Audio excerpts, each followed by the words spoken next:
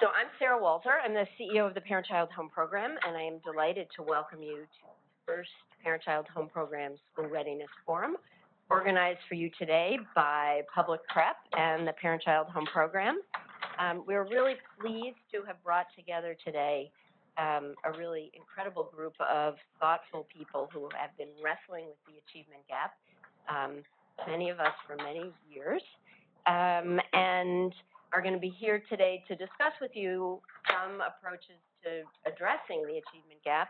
Um, I think some of which they will agree on, and maybe some of which they won't agree on, but that's what will make for a lively discussion. Um, I want to start, though, by really thanking our host committee, whose names you are about to see on the screen, um, without whom we would not be here today. Um, certainly, you would not be here today, since they are the folks who invited most. Um, and so we're really pleased that um, Josh Schwartz, our board member, was able to pull together this amazing group of folks and really thank them for um, having filled this room and having um, had great input into the content and the issues that we're going to discuss today. So many of you have heard of the 30 million word gap. It's become kind of a common trope in our discussions about the achievement gap. It's the difference in the number of words that low-income children have heard um, in comparison to well-off children uh, before they even reach kindergarten. That gap is devastating. But what's really devastating is that it's really only the beginning of a gap that tends to follow low-income children throughout their academic career. We know a lot about what causes the gap. Um, we have quite a number of ideas about how to address it. To date, there's not been a consistent national and state policy focus on how to close that gap so that we can get the value we want to get out of all the wonderful education reform efforts that have been happening in this city and around the country. We know some really simple facts. We know that having books at home is twice as important as your father's education level or future school success. We know that only 47.8% of children between birth and five years old are ready are read to every day by uh, their parents or another adult in their lives. 37% of kids nationally arrive in kindergarten without the skills they need to be successful in school or in life. There is al almost a 90% probability that children who are poor readers in first grade will still be poor readers in fourth grade. And in fact, low achievement in fourth grade is one of the most powerful predictors for not graduating from high school. Children who aren't reading at grade level by the time they enter fourth grade are four times more likely to drop out of high school than other kids. So given that we know all of this, what should we be doing to address these issues? That's what our panel today and our keynote speaker are, are going to get you thinking about. And we're looking forward to um, some lively discussion up here and then um, some lively discussion with you all uh, after both our keynote and our panelists have finished. So we are going to kick off um, in just a minute with our keynote speaker. But before we do that, I'm going to give you just a second on the Parent-Child Home Program and why it is that we felt it was important to gather all of you here today. Parent-Child Home Program is one of the programs that sits in that zero to four span um, that is actually making some huge strides in preventing the achievement gap for the low-income families that we are able to reach, uh, both in New York and in 13 other states. Families who participate in our program get lots of books, lots of good books, um, but we also make sure that the families know what to do those books, which is a key piece of, of this continuum of services. 80% of the families that we work with nationally live at or below the poverty line. They get from the Parent-Child Home Program 92 home visits by a community-based early learning specialist and 46 books and educational toys that are the tools that that early learning specialist is showing the parents how to use in order to get their kids ready for school.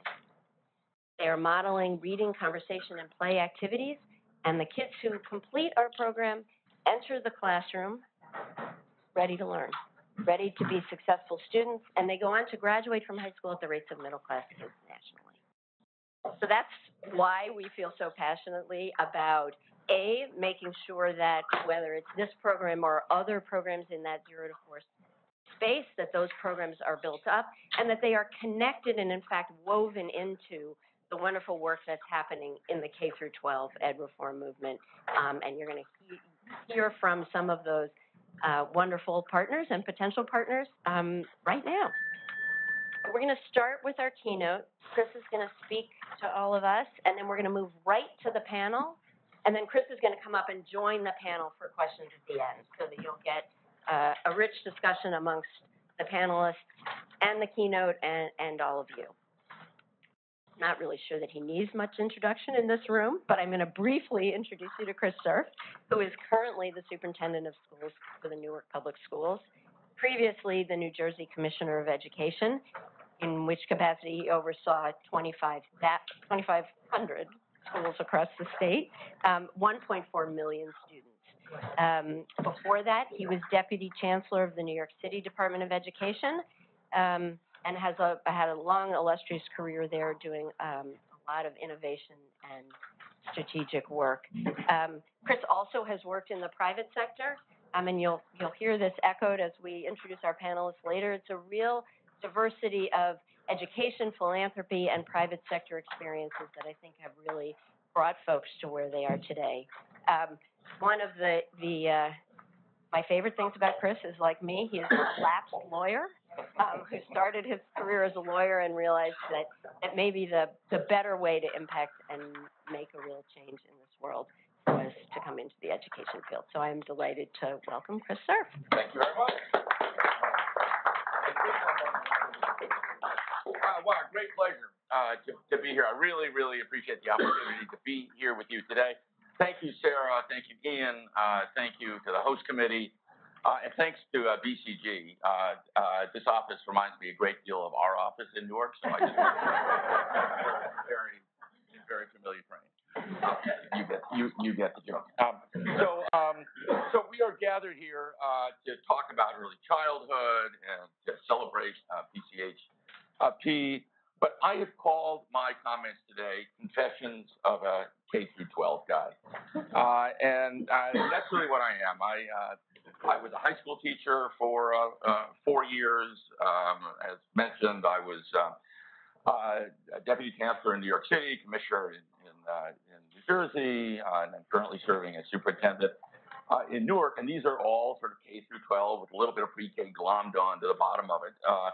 Uh, and so that's really where I have devoted most of my public sector uh, career. So why am I here, sort of testifying, if you will, evangelizing, if you will, on behalf of a really radically new societal approach uh, to birth to five? And I think it begins, uh, actually, the answer to that question begins with making sure that we sort of all uh, have a shared view about what exactly we are attempting to solve uh, for. Why do we invest $700 billion a year annually in K through 12 education, second only to the healthcare uh, sector, uh, by the way? What, what's our purpose of doing that? What are we, what are we trying to uh, accomplish? And for me, it, it comes down to uh, a basic question of that has been plaguing societies really for thousands of years, and that is the question of equality. What are you supposed to think about when you walk down the streets of New York or any city and step over that derelict with the sign? How are you supposed to think about it when you go into a wealthy, leafy suburb and then you go into some of the worst neighborhoods in the city I work in? How is, how is one supposed to, as a citizen and someone who's committed to, uh, to a greater and good society, supposed to reflect on that? And societies have been struggling with that. Philosophers have been struggling with that. Aristotle gave us an answer, basically Marie Antoinette's answer, which is that's just the natural order uh, uh, of things. Others have said radical redistribution, uh, even if it requires mass violence, and uh, which is what we saw in some other parts of the world. But the American solution was really quite elemental, and that was we are going to make sure that birth circumstances do not determine life's outcomes. And we're going to do that uh, in a very focused, focused way. It's reflected in all our early documents. It's reflected, of course, it's a little bit hard to sell if you happen to be a person of color or female in 1776, but it is still a core basic uh, um, uh, um, um, idea. And um, public schools are intended to be the sort of great catalytic agent, and that's the answer to the purpose question. They are intended to give everybody an equal opportunity to realize their full potential, regardless of who their parents were, uh, their country of origin, or, or, or, or, whatever. But no honest observer can conclude anything other than that that promise has not been fulfilled, not even remotely uh, uh, fulfilled. If you sort of look back to uh, really when we started to sort of focus on this as a country, a lot of us dated back to the early 1980s with a nation uh, at risk, uh, where it was said that if an unfriendly foreign power had attempted to impose on America the mediocre educational performance that exists today, we might have viewed it as an act of war. As it stands, we have allowed this to happen uh, to ourselves. Now, since then, there has been a huge amount of energy, a lot of it expended by a lot of people in, in, in this room. There's been massive philanthropic support. Think back to the early 1990s, the New American Schools Initiative, and the half a billion dollars that, uh, that supported that. Think of uh, Gates, Broad, Wallace, and the list goes on and on um, and, and on. And more than that, there's been active, aggressive federal involvement. All the alphabet soups we know of uh, No Child Left Behind, Race to the Top, now ESSA, all built on the foundation of, of Title I. And that has resulted in what I call, and I don't mean this in a derisive way because I believe in it, but a reformer's playbook. And you know every single play in, in the book focused relentlessly on educator efficacy, be honest about the natural distribution of efficacy in teachers and do something about it. Have high standards uh, associated with real accountability, including closing and restarting persistently failing schools. Use data to drive decision making as a management tool. Personalized learning in all its many forms. Leveraging market forces, whether it's a choice at one end of the political continuum, charter schools, magnets, uh, etc. And what do we have after 40 years of that kind of money, that kind of attention, that kind of resources. Well, if we really want to be truthful to ourselves, what we can honestly say is that we have put a material dent into the problem. That's what we've done. And it's worth doing and it's worth continuing to do. But it is simply uh, a, a sad truth that if one is born into poverty, and if that poverty happens to be in an urban setting, uh, which means disproportionately you are a child of color, the probability that you will graduate from high school truly prepared for success is despairingly low. Um, notwithstanding all of the many, many extraordinary Horatio Alger stories we know of, and this is basically a statement about uh, the aggregate numbers, not about particular individuals, but the aggregate number sends a incredibly disheartening uh, um, uh, message. And Newark is actually, uh, and, uh, where I currently serve, an excellent example of, of that. Now, I have to say that um, there is a uh, very established body of evidence that says uh, you don't judge a whole system reform effort in the first couple of years. You wait five, seven, eight years before you judge it. And notwithstanding what I view as a sort of ahistorical view that has taken hold, uh, that unfortunately chose to call the game in the very early innings.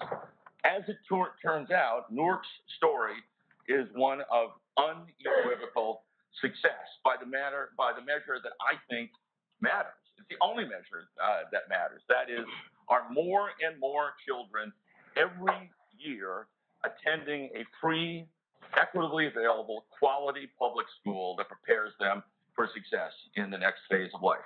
Everything outside of that statement is for me uh, secondary or uh, importance, if even that. So if you could go to, so just a, just a quick review. This is what we've seen our graduation rate do. This is when we began the reforms in 2010 and 2011. Remember, Newark was a state-operated school district.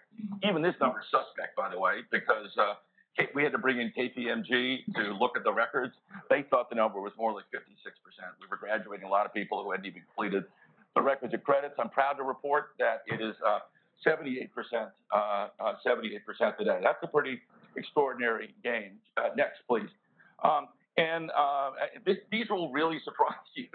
If you look at the city of Newark, and these are free and reduced price kid, lunch kids, which are most of us, most of our kids, uh, you see that our, uh, our our schools are beating the state at large, beating the pants off of DC, which is getting a lot of good press. Uh, Illinois, Rhode Island, Colorado, the entire state is performing at a much higher level. This is including charters. And by the way, next slide, if you uh, you get the same number even if you take charters out. Charters are driving positive change, but is very, very much happening, uh, no matter how you look at the at the sector. Next, please.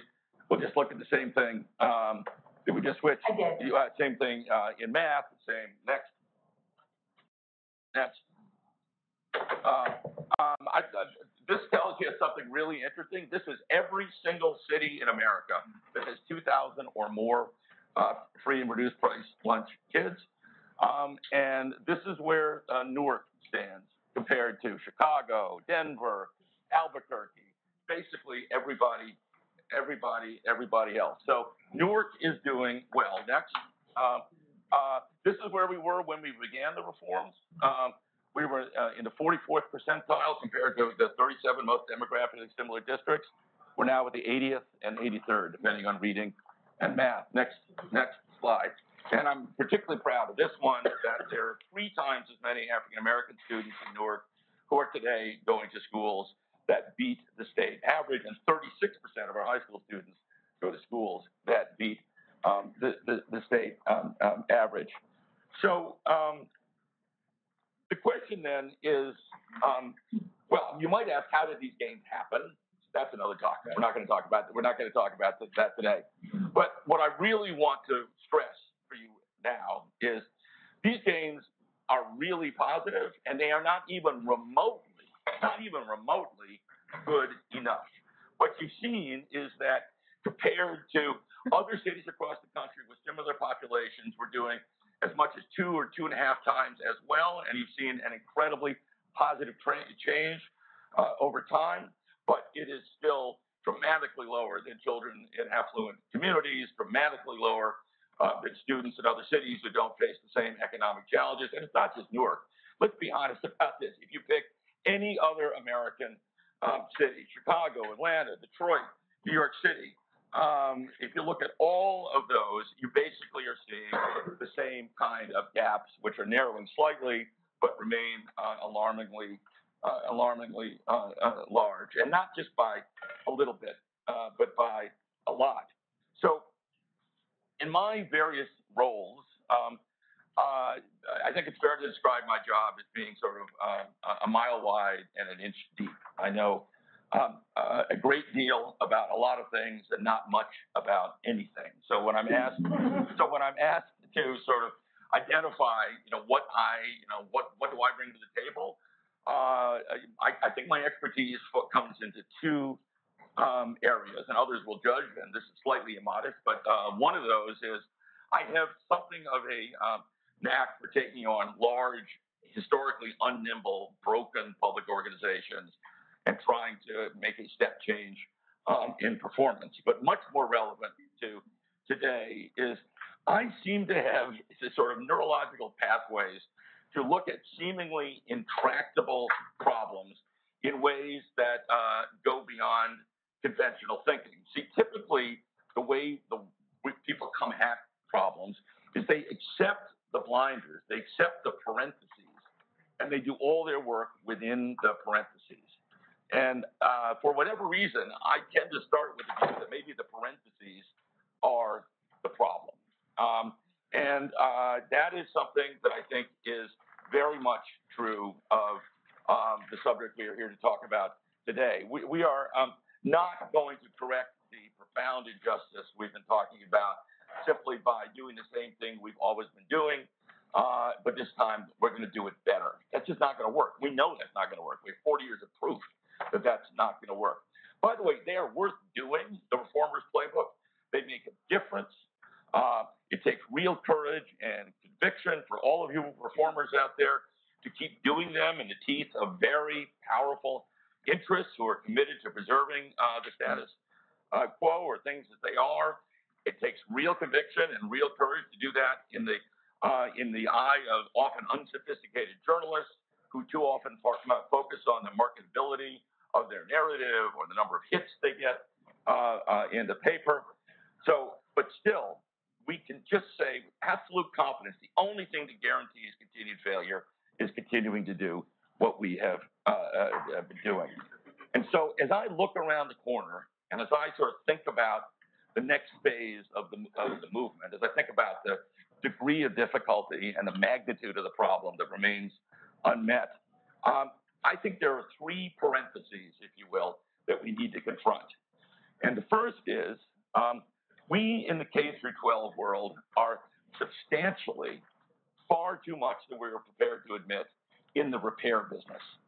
That is way, way, way too many students come to us in kindergarten or even as three-year-olds and four-year-olds, and they're already not only not only badly behind in terms of the 30,000 uh, words and the, and, the, and, and the gaps, so, but frankly don't have yet built the neurological foundations that suggest a positive learning trajectory over the course of their life. So that I think is one of the things we have to sort of acknowledge and deal with. Second, since the advent of the modern education um, system, we have focused on first through 12th grade. Now in the 50s, we threw in kindergarten because they, you know, they're young and cute. And then on top of that, we sort of threw in, well, we got to have a pre-K program. So we have three-year-old and four-year-old programs. Uh, we have obviously good ones and lots of them in New Jersey. Congratulations to this city for all it's doing. But we basically have a K through 12 system. That's the orientation.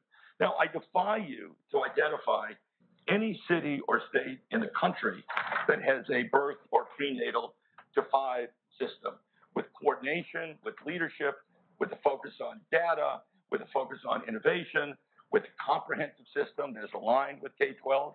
They don't exist. Now you have children's cabinets and you have lots of good people doing good things, but they are splattered and erratic and not often quality controlled. Um, and um, they are good and meaningful and part of the fight. The parentheses here that we are working in is we actually don't have a plan anywhere to address what is clearly the fundamental source of uh, um, the reality that so many of our kids are encountering issues in life that are suppressing their ability to be successful learners when they get to school. And the third uh, thing that I think we need to acknowledge, which I suspect brings many of you here, is that developments in neuroscience, as well as research-based interventions that have really solid backing, strongly suggest that radical improvement in academic achievement and life outcomes are actually now possible if we organize and fund the effort uh, correctly. So if you'll flip to the next page. Um, so pretty picture. Um, uh, so I call this the parable of the river. And for me, it is the metaphor that um, uh, drives a lot of the action um, that is underway in this space. So imagine, and I'm not very good at Google Photo, but imagine a little village by a river, okay? A little village by a river. And one day the villagers look out and they see people floating down the river, struggling and drowning, and they rush out and they pull them in, uh, and they and they uh, and they get their boats out and they pull in and they pull them in, and then the next day they wake up and there are more people floating down the river, struggling and drowning, and then the next day, and this goes on for days after day after day, and then one day they look out and they see a young person walking up the river as fast as his or her legs can carry him. And they said, Where are you going? We need your boat. We need you to go out. We need you to help. And he goes, I'm going upstream to find the son of a God who's throwing these people into the river. And that seems to me to perfectly state what we are not doing right and what we have an opportunity to do considerably better. Because if you look upstream of the kindergarten experience, you see a lot of uh, things that are incredibly powerful and point us in very helpful um, uh, directions. Go to the next slide, please. Or not. Okay. Um, so, um, uh, so, so just to, to make the, make the point, and by the way, psychometricians hate this graph. I don't really understand why, but I, I find it very, very powerful. But, um, uh, this is where a child is, right? Uh, when, um, when he or she first takes the, uh, uh, summative assessment in the third grade. That's the score, below 150, 160, 170. And that is the probability that they will graduate from high school. This is our legacy test called the HESPA in Newark. So if you come in and you're really behind, right, the probability is diminishingly small compared to if you come in and you are and you are on, on track. So again, the, there's something happening upstream of here that is making a very significant difference there. Um, so um, here's what we know. Uh, 90% of brain development occurs before age three, about a million neural connections a day. Brain plasticity decreases with age. The capacity to learn. Try to learn a new language when you're my age. It's not going to happen. Try to learn it when you're two years old, like nothing, right? Brain plasticity, and that, that is very explicable in, in, neuro, in neurological terms. Um, we uh, uh, looked at the amazing work that's being done at Stanford by Anne Fernald, who many of you know, uh, where she has identified that by 18 months, uh, there's a huge gap in verbal processing speed, and it's highly correlated with poverty by 18 by 18 months. Um, the other thing we know is that the old nature versus nurture dichotomy that we all grew up with in freshman psychology has not survived the test of time. Sure, um, we uh, we understand that we all have a genetic uh, makeup and predispositions, but especially in the realm of learning, especially uh, they're profoundly influenced by experiences. The sort of header on this is, is the field of, of epigenetics. Things affect what genes come into play and how they are how they um, are, are triggered. Um, the, um, the um, among those things are literally the number and quality of human interactions. Uh, we'll hear a lot more about that today, but how uh, uh, whether a child is read to, whether she or he is talked to in the imperative voice or in some, some kind of interactive way, whether there's an opportunity for floor time, as they call it, and play, whether there is um, when you're reading a book and when the child goes on a flight of fancy and says, Why is the caterpillar hungry? Uh, I like the color blue. Well, why do you like the color blue? I said, No, no, no. I said, Why is the caterpillar hungry? Right? There are different ways to read, different ways to engage. And that proves to be, and I think this is beyond argument now, to be highly relevant to how the brain is formed and prepares to be a lifelong uh, uh, uh, learner. And we also know on the other end of the extreme, it's not just the nature of the attachments. It are they uh, adverse childhood experiences, and they don't need to be abuse. They can be neglect. They can be transients. They can be uh, uh, hunger. They can be all sorts of things.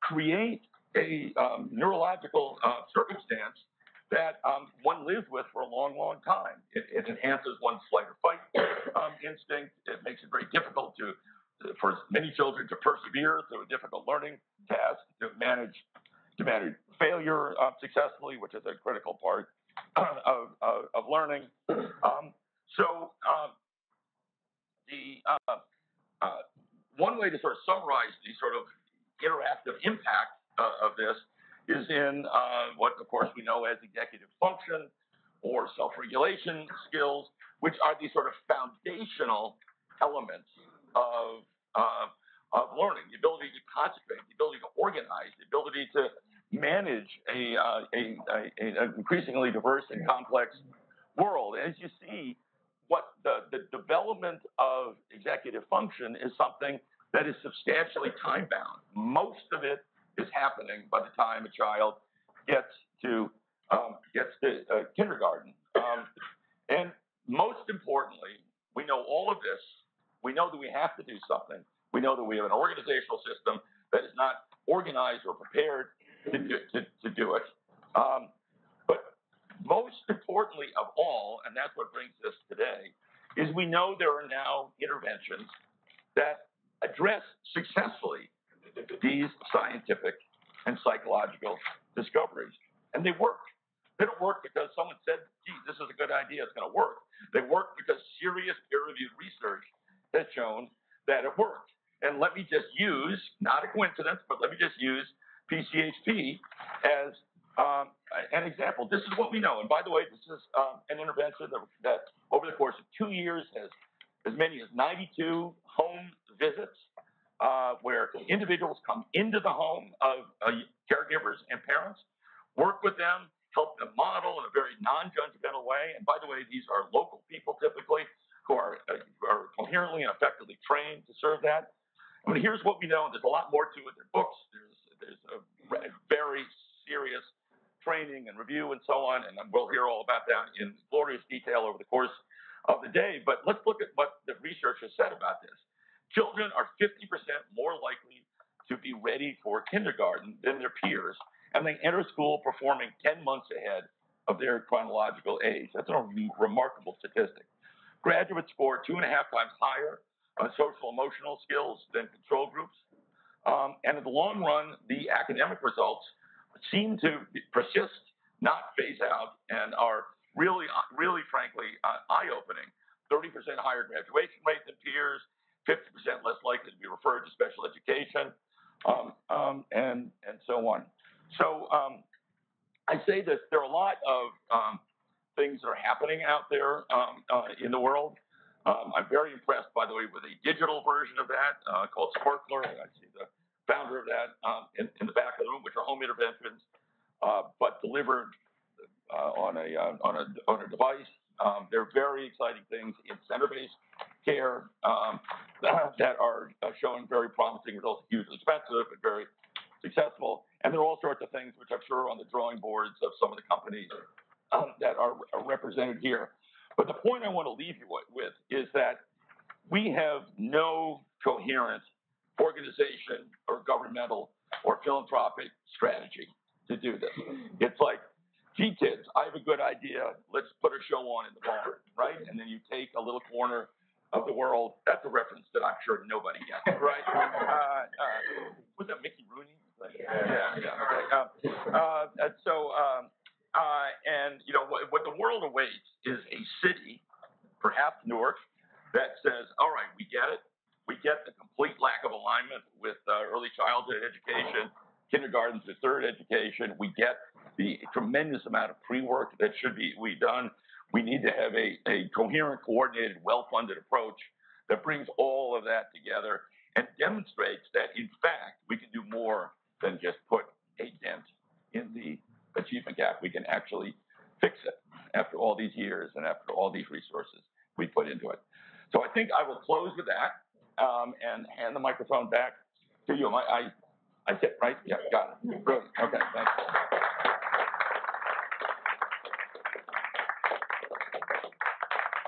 Thank you, Chris, so much. I think you completely set the stage for the panel that you are all about to hear. So it's now my pleasure to introduce Ian Rowe who is going to moderate, facilitate, and lead the panel of folks coming up here. Um, there are lots of things I could tell you about Ian, but I'm going to do the short version of the intro. Um, he is a New York City Public School product. Um, so I think in this room, that's important to know. Um, as I referenced earlier, he is one of the folks with us today who has um, moved through the corporate sector, the public sector, working in Washington, um, the phil philanthropic sector, um, and came back to New York, his, his home, um, to now be the CEO of Public Prep, the nation's oldest and only nonprofit network that exclusively develops exceptional tuition-free pre-K and single-sex elementary and middle public schools. The network now has 350 alumni who um, who attend uh, top high schools across the city, and some of whom are now freshmen, fresh people, at great colleges and universities. Um, but Ian has long identified that one of the greatest challenges his network and other um, excellent networks of charter and public schools across the country face is the incoming readiness of the scholars entering their kindergarten programs. And that's why he got so excited about participating in this event and really talking with the panelists today about how we change that. Um, for better in, in all of our cities. Ian.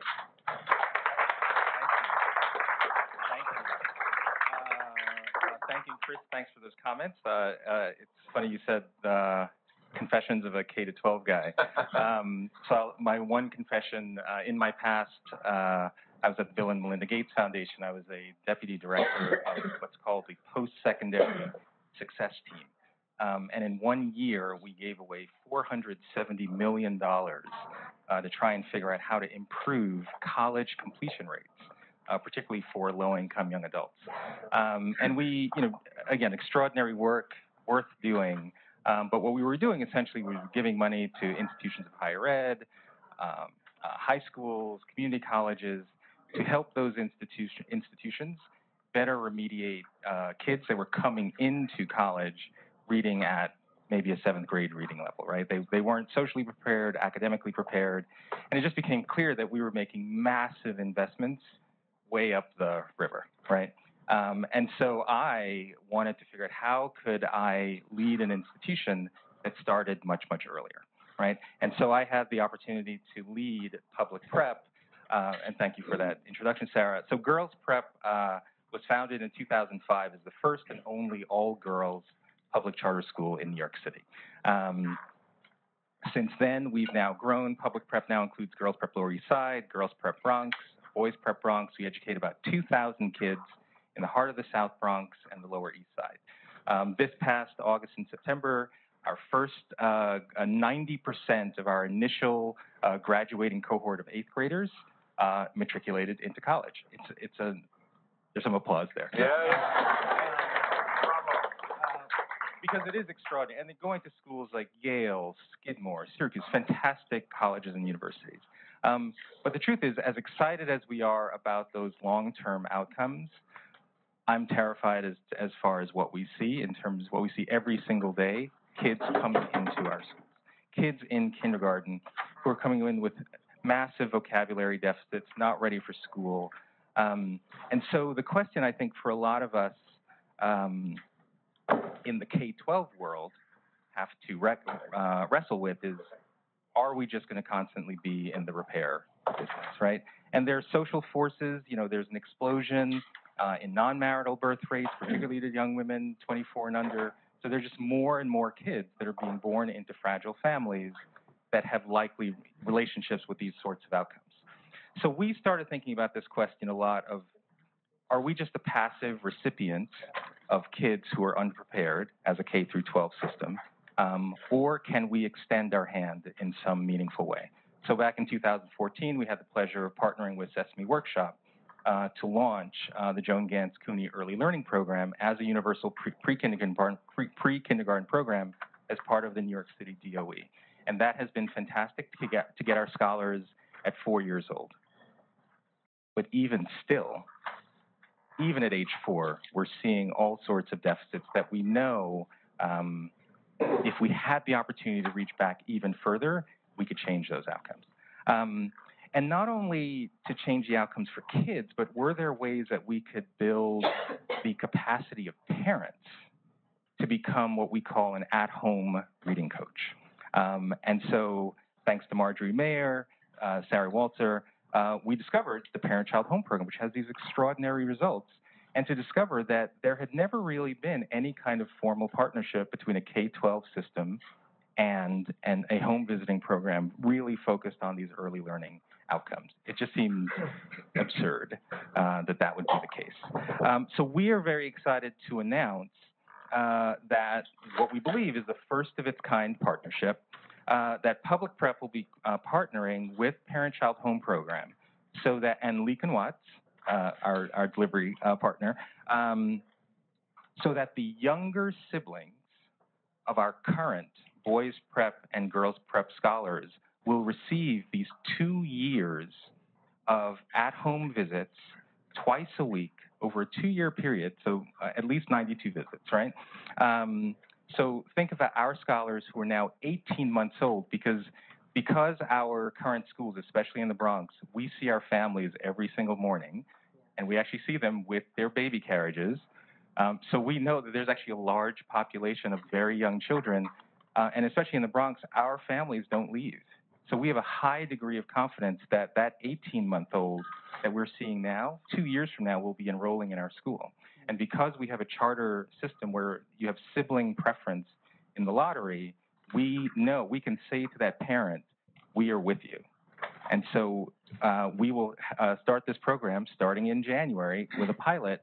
Um, and it, it's almost obvious.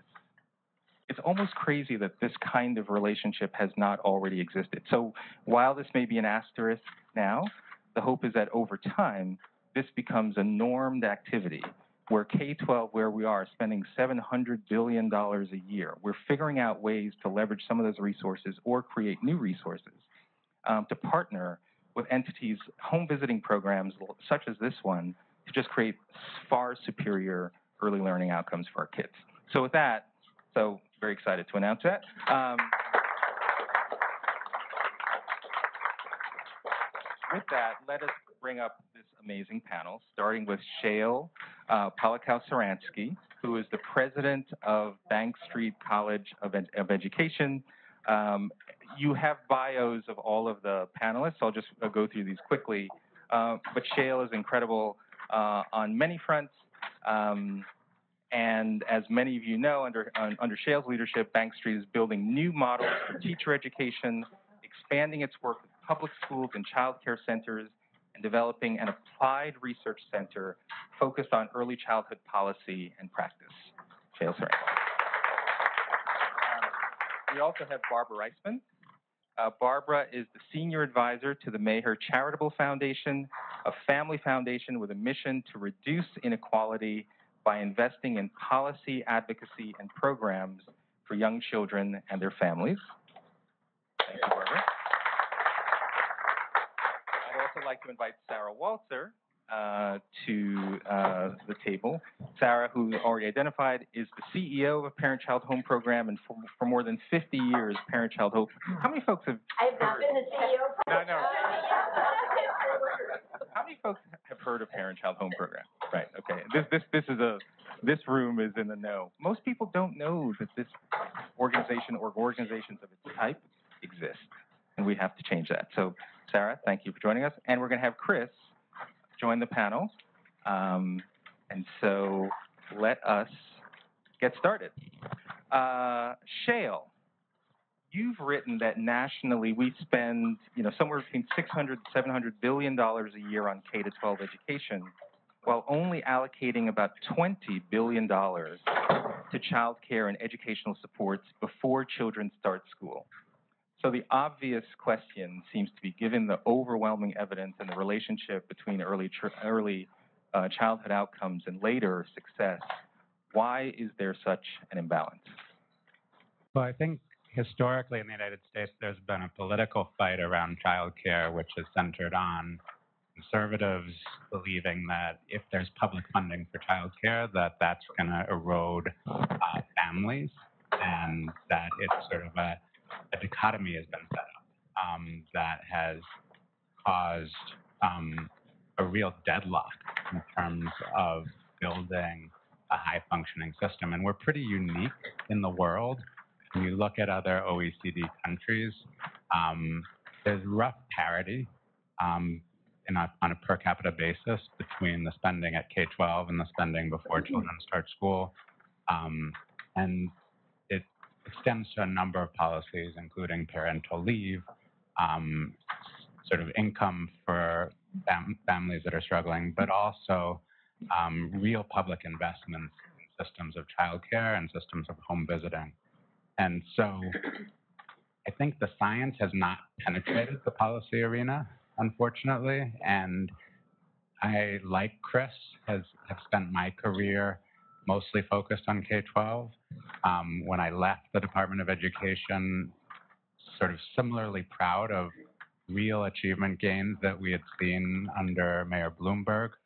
Um, I was struck by the fact that even with all of the reforms that happened, uh, the achievement gap really hadn't moved. And when you dig into the data that Chris shared, it's now clear that we hadn't addressed where the achievement gap started. And so this is not something that you can fix quickly. You actually have to think creatively about what would the public infrastructure look like uh, to do this. part of it is a funding question. Uh, part of it is reorienting um, how we connect the dots. And so I think Chris's challenge of looking at this first at a city level is is the kind of demonstration proof that would be helpful. Um, but I also think we all have an obligation to look at the different components of what the system is going to take and start to build those components. So at the point where the political will shifts, and we're seeing already in, in public polling data that there's more support um, nationally for funding um, for free childcare before children start school than there is um, for funding later in school and and, uh, and post-secondary. But and and it's also interesting that some of the places that are doing some of the most innovative work are in red states, not necessarily at this point um, following the traditional sort of trajectory. So there's a real chance, I think, that we see a wave of investments uh, in the coming decades. The question is, uh, are we going to be ready with models that can take those up and not reproduce the same dysfunctions that we have in the K-12 system? Yep. Um, Barbara uh, Shael identifies that there, there, there is a thankful shift or greater recognition for more investments in the early childhood arena. But what seems to be happening is people are seeing value in pre-K or 3K. Um, so the question that some critics say is, that's enough. Why, are, why, are, why is there, how do we make the case that the fight to even get uh, pre-K and, and you know, in, in New York, I think it's going to be called 3K for all. It's been such an enormous fight to get public support for those initiatives how do we then go even further to say that there should be interventions publicly funded um, zero to three? Well, I think it's very important to understand that early childhood is a continuum that starts before children are born with the, making sure that their mothers get adequate prenatal care, which, as Chris pointed out in Newark, third, more than a third of mothers get either late or no prenatal care. So that's a starting point. And but early childhood goes from prenatal to children at age eight. And pre-K is a very important part of that. New Jersey has an exemplary pre-K program for children in our poorest school districts. Extended to other poor children in other school districts. And we have long-term data that shows that that preschool has made a lasting impact on children's performance in math and literacy measures. But it is also true, as Shael points out, that we have not done enough on the birth to three part of this, and that is the part where children's brain architecture is developed. And the architecture is both about children's cognitive skills and their social emotional development. So, you know, I think it's very important that we recognize that this is a holistic process. And you can't, I actually had a funder one day, after this funder who funds a lot in Newark, spent two hours listening to people talk about early childhood development and the importance of early childhood. And then he said, well, why can't we just provide them with tutors when they are in kindergarten and we can just make up the literacy and math gains and, and get them on the right path and it would be a lot cheaper to do that. I, I think that reflects a fundamental misunderstanding of the science. The brain architecture does get developed in those early years. Poverty actually does affect the structure of a child's brain because of the adverse childhood experiences, which I think is a terrible, sanitized version of what mm-hmm. what adverse childhood experiences are trauma, are kids experiencing violence, experiencing their parent being incarcerated, being evicted, watching a brother or a father be shot. I mean, you know, it's it's really terrible things that happen to kids and that affect them. It's not not picking your child up after they cried for 20 minutes. Um, so we, I think we need to recognize the reality of parents' lives, and there are, Chris, plans mm-hmm. for comprehensive approaches to early childhood interventions. Um, people have worked on them for years, and it's really important that we have new champions for this because I think the champions and the people talking about it make a real difference in whether people are actually paying attention. But we have examples here in the Harlem Children's Zone, um, that has taken a holistic approach to children from prenatal through K to twelve, um, looking at parenting education, home visiting, early childhood education. We have the Kresge and Kellogg Foundations, which just announced a fifty million dollar initiative in Detroit that's gonna start before birth and trying to address this. I think these kinds of place-based approaches are really valuable. And programs like Parent-Child Home Project and other home visiting programs are one part of what needs to be done. But there also has to be the kind of policy framework and policy advocacy that powerful voices in this room can bring to this conversation. We need paid parental leave. We need more time off for parents. Parents, many parents don't even get time off when they're sick, paid time off. We need an increase in the minimum wage. Increasing parents' uh, income actually makes a big difference in child outcomes. So there are some very clear things that can be done in addition to the kinds of programmatic investments that the Parent-Child Home Project and other, uh, reading intervention and math intervention. Uh, Sarah, as someone who runs uh, a home visiting program, outside of funding, what are some of the, just the practical challenges uh, that you face in growing to scale? Are, are, are parents of very young children, are they receptive to the idea of someone coming into their home twice a week for two years? How, what, what are sort of the, just the pragmatic ways um, or pragmatic challenges that you face outside of, of funding?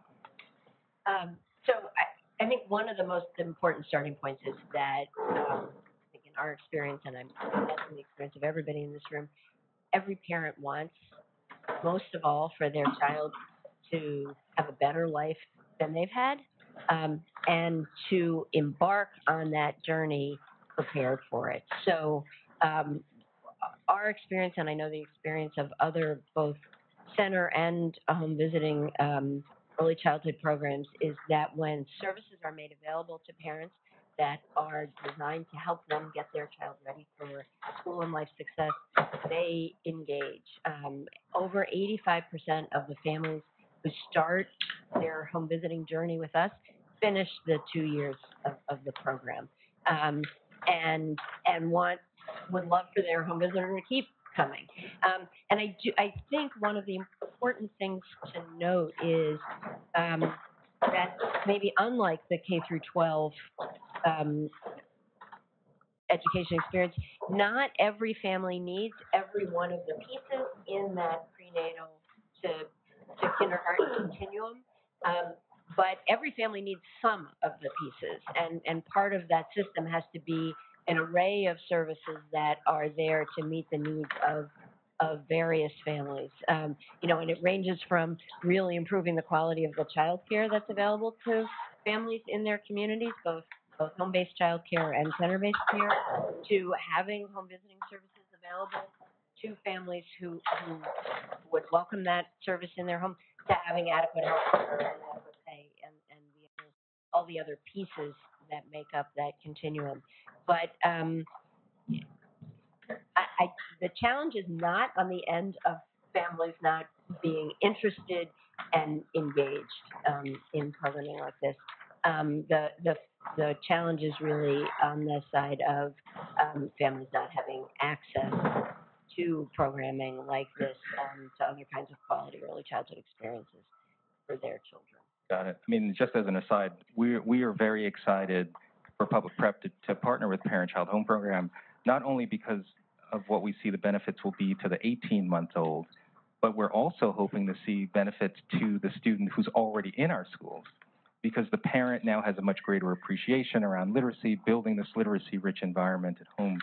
So we're hoping for multiplicative um, benefits. And then Chris, I, I can't help but ask you, you know, maybe the, the $64 million question. Are our efforts in K to 12 futile until we develop a deliberate and coherent strategy around early learning? Thank you. So, and absolutely not. Uh, and what I mean by that is, you know, there's this, this fight that goes on, uh, one of the sillier fights out there, that, you know, is poverty the cause of bad education or is bad education the cause of poverty, and it's silly because we know that what goes on in the four brick walls of a school is highly relevant, and we can do a lot better. Uh, we could acknowledge the importance of great teachers and do more to get and train great teachers. For example, we can hold the children in the worst corners of uh, our urban environments to the same high standards around what it means to be competent in algebra one as you do in the in the uh, in the affluent suburbs. There's lots that you can do and we should do, and we are doing, often pushing a very heavy rock up a very steep hill. And that's it's, it's important, I think, not to give up or be defeatist or say that that's irrelevant uh, because that makes a huge difference. We are getting more and more kids, uh, you know, onto the lifeboat, if you will, uh, or more and more kids, you know, launch successfully into life. But at the same time, um, there's no denying that you know what happens outside the home and what happens in the early years is uh, you know not only relevant but probably the most predictive variable in a child's learning trajectory. So we really do need to do both. And while I've stolen the microphone, I'm going to do two quick things. One, I want to say because I forgot to say it in my speech that uh, Ron, raise your hand, Ron. Well, there he is. Uh, Ron is the head of the Newark Trust for Education, and we are partnering and are on the brink of entering into a contract with PCHP. So we are uh, very much focused. We're not quite ready to make the grand announcement uh, because we got to get a little something tied, up, but we're we're we're we're going to get it. We're going to get that done. Uh, and then secondly, I want to say, uh, okay, all right, all right, all right. Yeah, uh, uh, and then I, I just want to quickly introduce uh, uh, an idea for some of you entrepreneurs out there. Um, it is absolutely true, as Barbara correctly points out and correctly corrects me, that there's a lot going on in this field, Harlem Children's Zone and, there, and many other places. What is really, I think, lacking um, is a coherent, comprehensive case management system and data management system that actually executes against another point Barbara made, which is not every program or intervention is right for every child. But just give, just to give you an example, if I knew today, right, every single child who's going to be a kindergarten in Newark who is currently in foster care, right, who is somewhere between birth and four, if I literally was able to identify them, right, and say for those kids we need a particularly intentional, specialized set of set of interventions, I can hypothesize, I can't guarantee that that would make a huge difference. But we have almost no coherent data system that integrates housing information, uh, uh, uh, transients, uh, uh, access to resources, who's going to pre-K, what pre-K program, and a thousand different variables. And you start, you're starting to see these, right, in the Northside Achievement Zone, in uh, Tulsa, and in a number of different places. But I would venture to say that the right place to really do this on a comprehensive basis is a moderate-sized city like New Haven or Newark, I will say, or others, where you can get a single comprehensive data management system that is a queryable database that allows you to track not high concepts, but Johnny and Marie, and track them through and give them targeted interventions all the way through their through their journey. And I'm really looking forward to, and I actually think there are prototypes out there that are potentially very, very, very promising. You see, when you're in the public sector, you never answer the question. Yeah, Uh, yeah, you All right. With that, oh yeah, go ahead. I I would say I I'd take a little stronger view on this than I, I, I agree that you need to keep working at the K-12 system, but if you're serious about equity, there's no way we're we're going to fix that without dealing with zero to three. And so, yeah, it is futile in that sense um, to keep pushing without really seriously investing at zero to three. And I think it's worth starting to think about, given that we're unlikely to unlock huge new public funding streams. We have a lot of money in K 12. How do we start to push some of that down? And what can we stop doing um, and stop wasting money on in K 12 and push down to zero to three? And, you know, the, the truth of the challenge at zero to three, have really good data and, and research now on home visiting. There's much less that's been done uh, on figuring out how do we build the childcare system that we want. And what we know is that the folks who are working in childcare generally get paid less than dog walkers. Um, that the workforce themselves is often living in poverty, many of them have their own childhood and adult trauma that they're carrying with them. Um, and those needs are not necessarily being addressed. And there aren't instructional supports in the sense of uh, helping caregivers, either in home based or center based care, to actually understand brain development, understand some of these concepts around what what kinds of materials, what kinds of interactions, what kinds of relationships can you form at different stages of an infant, a toddler, a child's development. And until we start to invest in that workforce and take a serious approach to developing them, I don't think we're actually going to solve this problem. And you know, one thing that we're doing at Bank Street to respond to that is we've developed a model that we're piloting in the East New York right now that basically takes our master's program and distills it into a five-month intensive coaching experience for home-based um, childcare providers. And so it has some of the same sort of principles that drive home visiting programs for parents, um, but it's actually thinking about the caregivers who are not parents. And three quarters of our children are with caregivers who are not their parents for 10 or 12 hours a day. Um, and many of those settings, I'd say about 80 or 90 percent, um, at best, what we're seeing is, is neglect. You know, with babies sitting in cribs with a TV in the background. Um, sometimes it's worse. There are great people also working in this space, but uh, they don't tend to stay long. And so, how do we start to both create a set of instructional experiences for caregivers, build that workforce so that it, there is a real sort of reason to stay in the role, that there's enough compensation, um, that there's enough stability, um, that we can start to see this other element of the system actually begin to take root and grow. I just want to add to Shael's eloquent remarks that one of the distinction people often make the distinction between children's preschool needs at three and four, which is has a lot more public support than interventions from birth to three. But these workforce issues go across the, this continuum. One of the things we see in Newark, for example, is when we train teachers in the who are in birth to three, they leave to go to three and four year old programs because in New Jersey, teachers in preschool have to be paid the same as teachers in the public school system, and that means a huge difference in their compensation and the respect that they're accorded because they're seen as teachers. There are still people um, in this, in, even in the state of New Jersey, who think that early childhood education is just glorified babysitting, and that is a direct quote from our soon-to-be outgoing governor.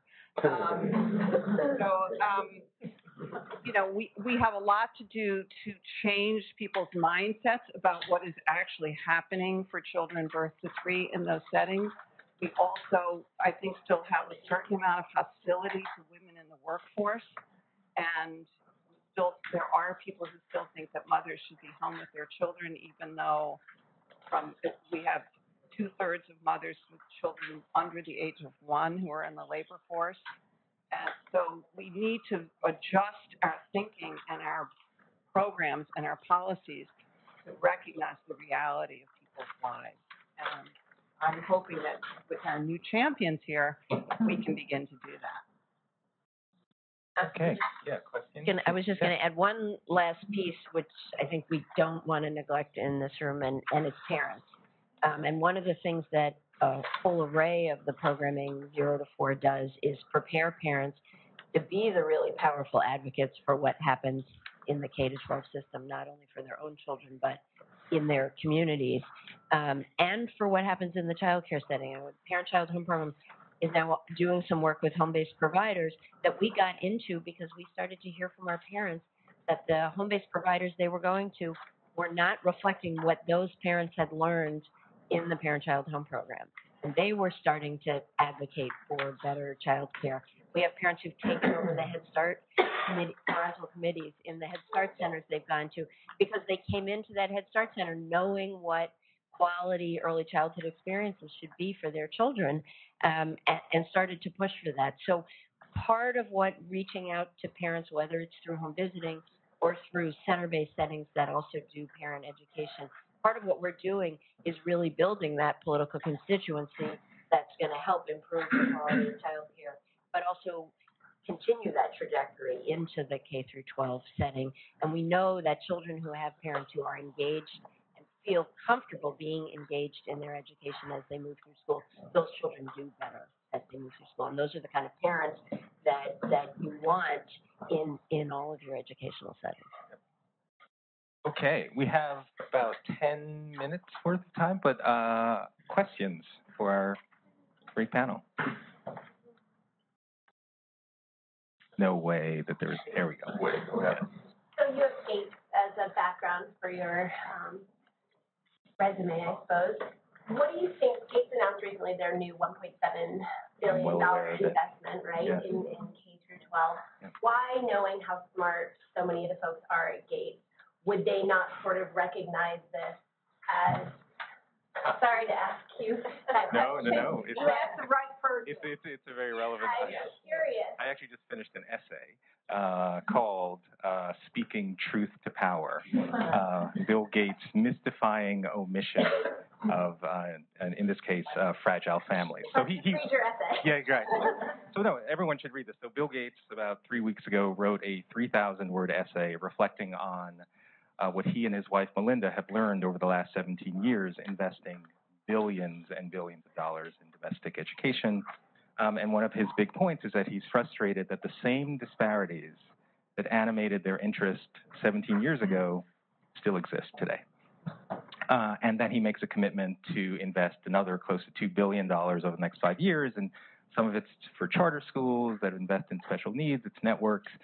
But in the 3,000 words, he doesn't mention the word family, nor does he mention the word parent. It's extraordinary. And he had to be called out on it. So I, I wrote an essay on that, friend. Um, but it, it's, it's really hard. You know, I was, again, I was at the, uh, the foundation in Washington State. The foundation does a bit more investment in uh, early childhood, but generally it's just not, it's, it's not, um, it's just not part of their playbook. Um, if there are others that want to con, and by the way, that's really important because how Gates goes influences a lot of other uh, funders, and it's extraordinary to me that they are not weighing in heavily. I mean, look at this chart. I mean, there, there's a very sobering inevitability about this chart, right? When kids don't get that level of language exposure at the very beginning, the level of predictability is so high. There's a reason we spend six to seven hundred billion dollars a year every year, and we're not getting the outcomes we want. I think if, if actually the reason that's happened is emblematic of the same reason that Chris and I are only starting to talk about this issue in the last couple of years is that Gates is organized where the K-12 section is separate from the folks who work in early childhood.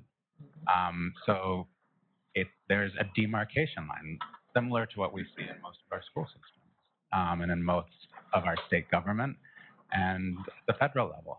And so as long as you have a structural barrier that says, you folks over here focus on this, you're going to get this problem. And so part of the challenge is rethinking some of the structure. And I think that um, that that does speak to another question, which we haven't talked about yet, which is what happens when you do really well in early childhood and then a child enters kindergarten and suddenly um, they're supposed to sit down, be quiet, and do worksheets. Um, and the sort of thoughtful um, integration of cognitive skills and socio-emotional skills that strong early childhood programs deliver goes out the window completely when they turn from four to five. And then we get surprised that suddenly some of those gains that we were starting to see in early childhood start to decline. Right, and then the full cycle occurs where we shouldn't then invest in early childhood because the outcomes dissipate over time. This, this, this virtuous, terrible cycle. But I also have a question for you, which is similar, which is that, you know, in New York City, amongst the charter sector, we have a high-performing charter sector, but so few have taken up on pre-K. And I'm curious, as a leader in that community. Yes. I don't understand. We, we, so first of all, when Bill de Blasio I know there's, launched, I know there are facility issues, but it seems, no, it's not a facilities issue. Um, I mean, there's, there's always facilities issue, but that's not the primary issue. When, um, when Bill de Blasio first launched universal pre-K and kindergarten charter, and actually, charters were essentially banned from even having the opportunity. And so we had to fight really hard even to get the right to do it. So we launched ours in 2014. We'll be launching a second one um, at our boys' school in 2018. And for us, it's just fundamental. I mean, so fundamental that if we could, we'd also participate in 3K for all. Right. But charters are not yet allowed to participate, so fine. But we'll fight. We'll we'll eventually get there. Um, but for us, it's so important that we're now partnering with Parent Child Home Program because the earlier the better. I it is it it is unfathomable to me why Bill Gates wouldn't talk about this in his essay. It's unfathomable to me why other charter leaders wouldn't jump at the chance get their kids starting at four years old. It just it, it boggles my mind. I don't know why.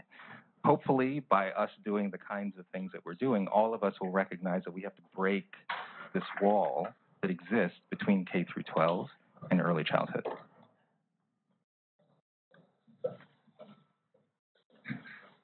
Just want to make a quick comment, because I think, just for disclosure, I know Barbara well, we worked together in New Jersey on different early, um, childhood, uh, learning programs. Right there, you said something that I think is, I, I like the way Barbara phrases the early childhood, prenatal to eight. Because by doing so, you're breaking that mythical artificial barrier between zero to five and K to 12. I think that's really important, and that's a way to get started to help others understand that it's a continuum. Um, and then I do have a question, so that's, that's one point. On the parent-child home program, I'm curious if, through your efforts, if you've seen a distinction, because I'm assuming any low-income families could qualify for this, even if they may be in part or full-time in an early childhood program already, versus those that receive, you know, at home all the time, or, or a neighbor's home or something like that. Have you noticed the difference between those two groups? Uh, So that's a great question. Um, I would say no, and I would say primarily for exactly the reasons that Shael outlined, which is most of our families who are in, also in childcare are in pretty low quality childcare. So it's not like they're getting that, in those years, that sort of double enrichment piece. What we do see a real advantage of is children who've had the two cycles of the parent-child home program and then have participated in a quality pre-K program. So kids who have had two years of parent-child, then a quality four-year-old pre-K program, when they get to kindergarten, they look um, significantly more prepared and more effective in the classroom than children who have had nothing, but also than children who just had the four-year-old pre-K. And I think that's because they were much better able to take advantage of the quality 4K experience because they came into that classroom prepared to be there.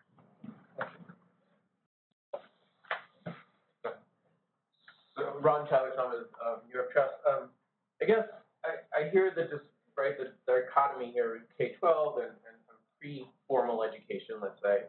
Uh, but there are other, there are other kind of groups to think about, right? So, so I'm interested kind of in the notion of, you know, how does healthcare fit into this in the sense of it's a primary place where parents are bringing their young people, um, and get a lot of information. Um, and so kind of thinking about that. And then having grown up in a family of six, I also think quite a bit about uh, a comprehensive, this comprehensive approach, um, and not and, and breaking down barriers that sometimes we don't even think about. And so, you know, I grew up in a family where my older brothers and sisters were responsible for our younger brothers and sisters' educational. Um, and sometimes we really think about moms or dads, uh, but we don't necessarily think about the family unit. You talk about how Bill and Melinda don't even name that. Um, and I was just recently at a, a community engagement forum where at a table of nine, there were two great grandparents, two grandparents, a parent, and two kids. Um, and so there's something to me about broadening this conversation, and I understand kind of you got to get refined in order to get something going. Uh, but then I feel impact is about taking that refinement and broadening the discussion. And so as, as, you know, you're thinking about the parent-child home network piece, I know that it's anyone who's giving primary care to the young person. Um, you know, and I know we talked a little bit about thinking, is there another phase to this work, which is about bringing either the families who are receiving this care together in networks, or is it about bringing families together? So I'm just wondering how you're thinking about those pieces as, as you've done this work.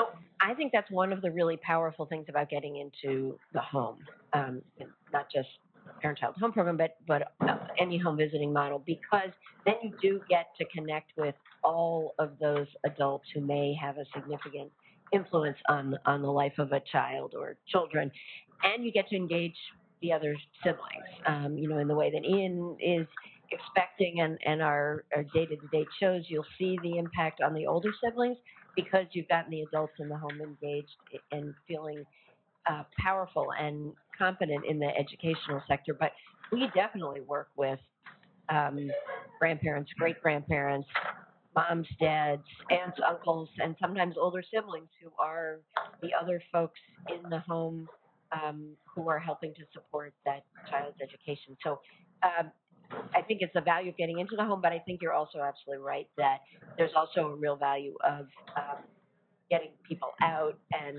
and engaged in networks and connecting them. And one of the things we find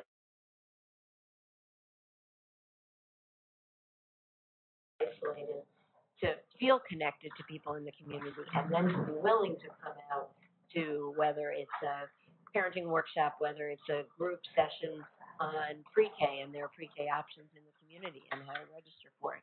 Um, or it's a field trip to give both the parents and the adults uh, an exper- a life experience that that they may not have had before they entered school when they're entering classrooms with lots of kids who've had lots of those experiences. You know, the, our program was actually founded on Long Island, and the number of families there we work with who've never been to the beach, when it's often only 20 minutes from where they live, um, and who you can take to have that experience before they walk into a classroom with lots of kids who spent their entire summers at the beach, I think is a really important piece. I know we've talked a lot in Newark about the fact that the Newark Children's Museum is free for all families. In Newark, hundreds of thousands of families never get there because it's outside of their social sphere. And the ability to get families, all generations of them, out and into those other settings to engage with, each other, I think is really important.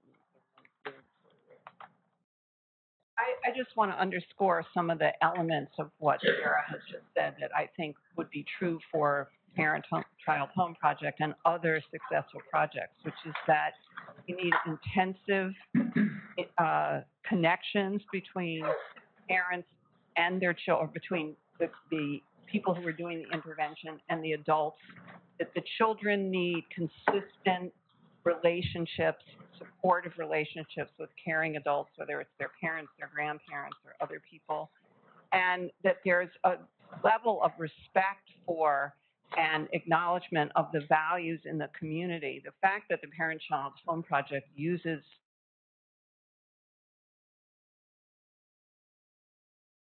element of its success because we're talking about people who are connected within the community, can break down that social isolation, speak the language of the parents if they're not English, native English speakers. Uh, that, those are all really important elements. And working with trusted people, one of the other successful reading intervention programs is Reach Out and Read, where you have uh, pediatricians who are prescribing uh, reading as, and giving a book to children who are making their pediatric visit. There are lots of these kinds of interventions. They need to be scaled, they need to be more broadly known about, and they need the kind of philanthropic and public investment that we're all talking about here. One final question. Yeah, you had raised your hand earlier, I think. Um, thank you. Uh, wow, this has been so enlightening and, uh, exciting, um, hopeful.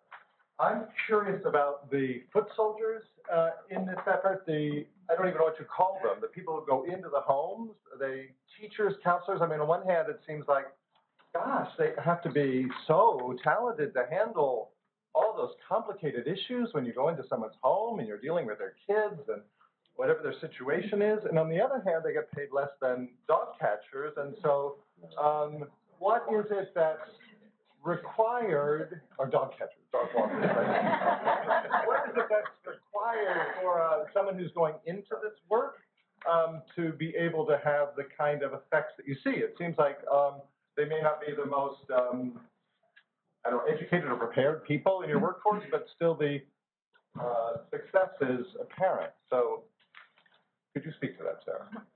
Sure. Um, and, and first of all, I, I just want to give a quick shout out to all the um, home visiting models who use an array of different folks depending on what their goals are. So the nurse family partnership, which we partner with often, that works prenatally to age two in communities, those home visitors are nurses, and that's because they really are de- delivering critical health guidance to the to the families they're working with. Um, other models that that that do the work with the age group we're working with, and and that are really focused on empowering the parents to be the critical person in that home, in that educator role. Um, use what what used to be called in the field paraprofessionals. So for for the parent-child home program, our home visiting staff um, are not required to have a college degree. Um, they go through an intensive training program and very intensive ongoing supervision with us. But the really the key um, things that we're looking for are their ability to model for other parents in their community. And what we have found is that folks who live in the community, who have children who are in school and experiencing some success, are the best um, mentors, really, for for the parents um, that they're going to be doing this modeling for. So, 25% of our home visiting staff are actually parents who went through our program as parents and then get hired and trained to, to, to visit with, with other families. And our data actually shows us that they are probably our most effect, effective mentors and networkers for the community. Um, I, I, will say that uh, they, they are not paid anywhere near the value that they are giving uh, society, and, and that's an ongoing challenge for, I think, those of us who run programs and those of us in the private and philanthropic sectors who are trying to figure out how to scale them. Um, because uh, it's not something that as a society, uh, this work or center-based childcare work or home-based childcare work that we value at anywhere near um, the value that we will get out of having it done well and supported. Okay. Um,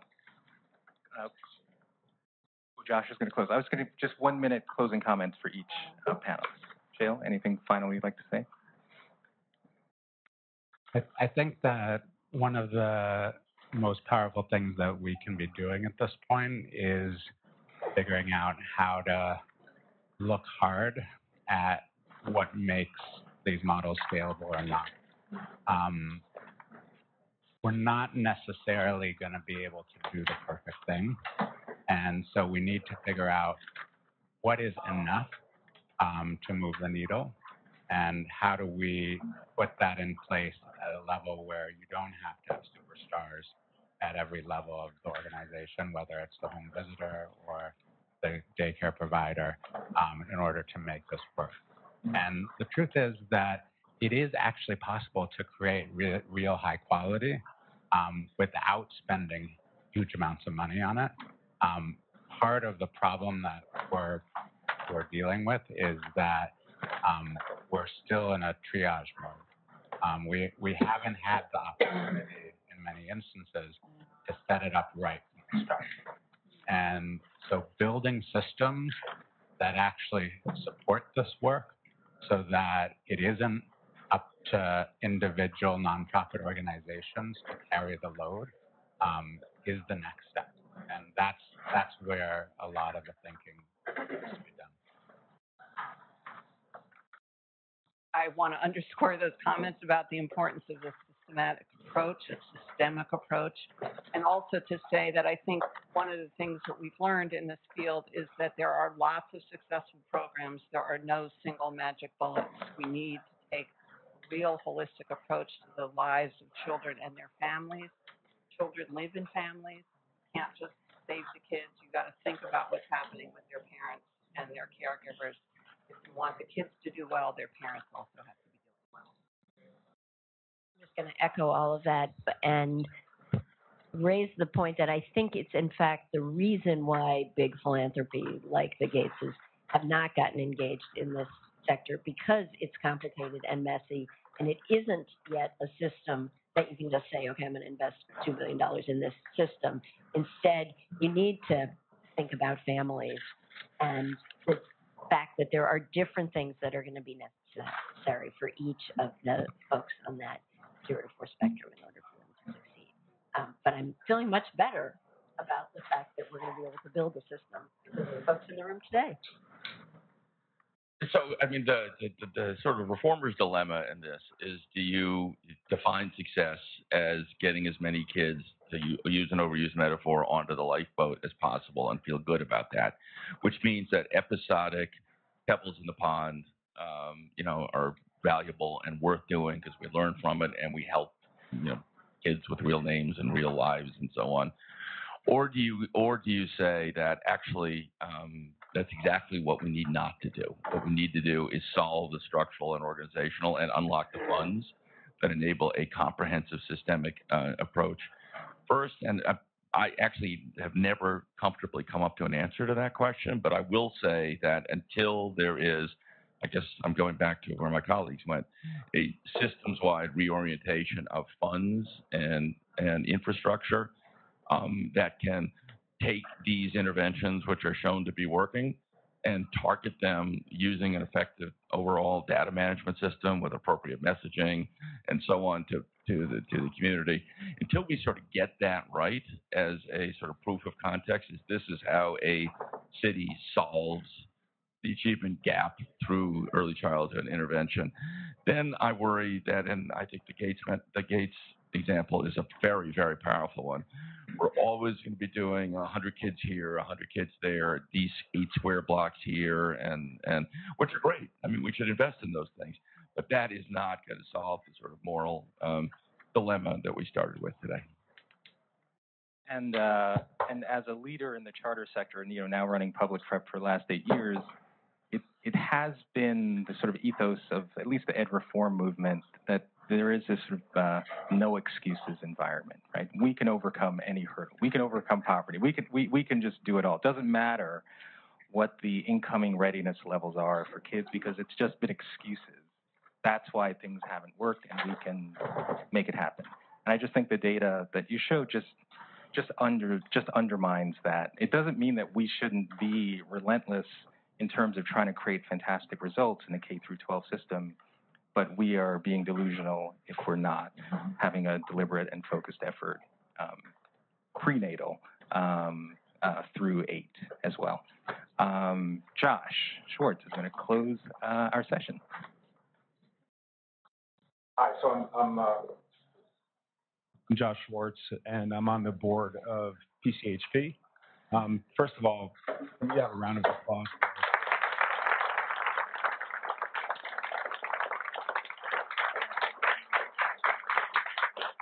Really a terrific discussion and exactly what we were hoping for.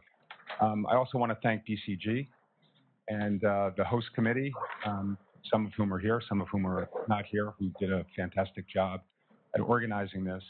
As uh, we've previously described, this is the first convening of the School Readiness Forum. I just want to explain um, what the objective of the School Readiness Forum is.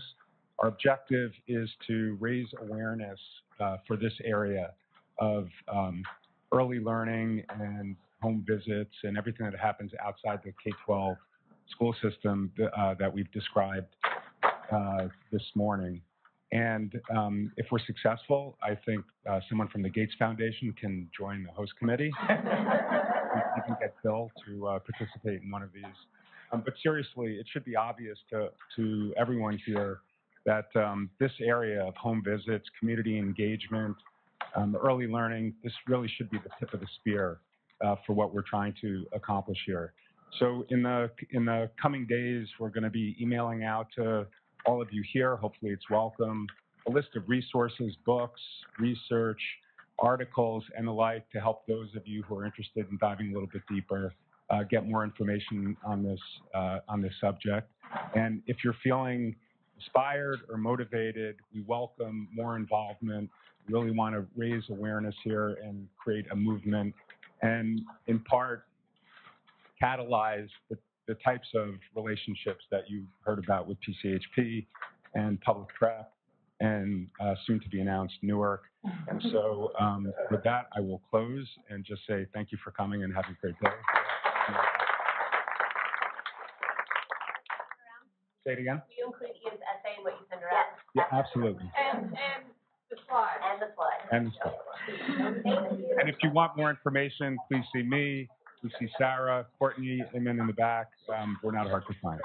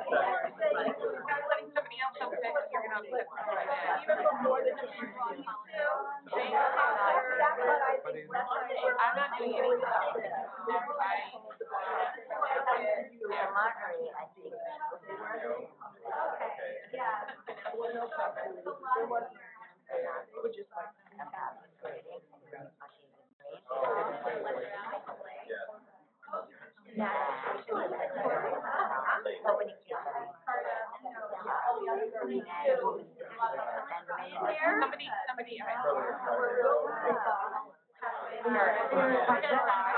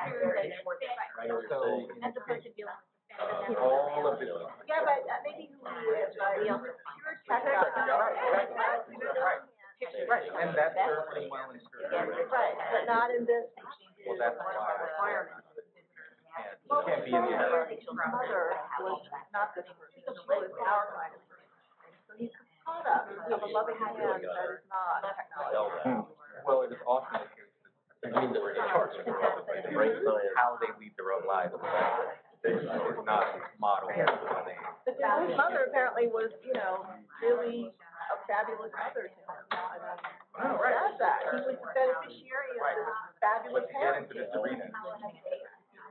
Caught with. with Who knows? Someone somebody who had an in life, like speak out. Very. But you had well, I can't wait to read it Very, well. yeah, looking for the quick solution, yes. Every now and then, everybody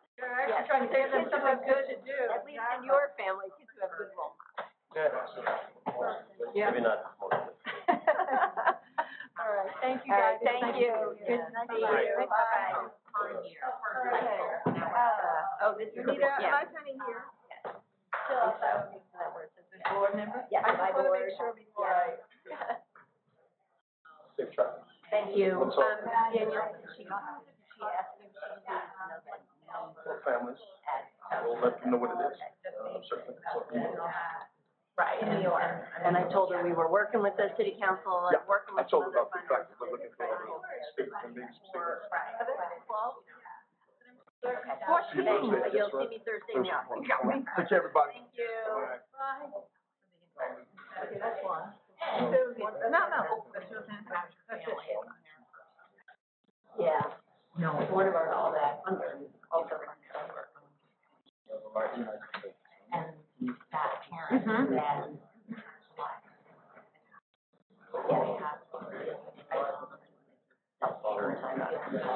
Because what we talked about. Yeah. Funding, coming funding, right? Is that we for the family, to. For families for providers who may not go year. You know, for every, ten thousand, but. Who's the funder? Government. Oh. Right, it's really good work. That's like not. It's funding, Right, Bank Street, the Bank Bank Street, Street project, which is yeah. exactly what it's from. Selma, Charles Mall, So it's interesting because They, yeah, they have been on and off, and they're hopefully coming back on, but maybe they specifically are funding the childcare piece, so actually what. So you're happy, like, this is good work. They Oh, fund great. the childcare piece. You always have done Um, and we just, just, continue. Who was the gentleman that asked the question about the, uh, the one that talked about dog catchers? Yeah. Yeah, I was trying to get to him. He was, uh, worked for. No, no, no, that was the other one. That was that one. There was somebody else who had a question and he didn't get to it. Oh, he works for teaching strategy. I know, that's what I said. I talked to him. You did talk to him. No, six siblings was New York. That was New York. Um, and then I talked, uh, the other guy who asked the question and said he knew Barbara is actually the new CEO of the, uh, oh, that's what he came to tell me. That. And I'm just saying, well, Right. New York Trust? No, now why, who decided to have Although there were, You know, it's multiplied out. brought by other people Right. from it. Yeah. Yeah, it's great, but there were two people I knew definitely on it. Neither of whom I invited showed up in the room and each of them invited somebody else. Great, no, this was great, I think you're gonna, if you do it again next year, you're gonna get, like, uh, I think we need to, you know. Oh, okay, whatever, whenever you do it next. Right, but, you know, we want. Yeah. Well, and there's Create the dialogue. different people like, Right. well, because you have to tell that, that they would volunteer, uh, you know, I think a light bulb went off. Yeah. Because we, especially on the edge, I told them about the efficacy, and I was trying to that. Yeah, yeah, so, Wait, here, we'll take the. well, we actually vote. So, but Mel, Mel also wants to. Actually, Mel talked to me, uh, in Washington as well. I was